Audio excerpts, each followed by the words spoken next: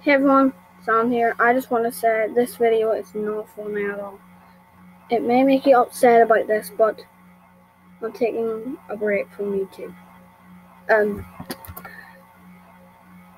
so we bit upsetting that I'm taking a break because I had this wee wee one day streak, then it stopped by not posting for a very long time, and I decided to take a break for a while because YouTube has just been my life all the time. It's just been my life, and I just want to take a break.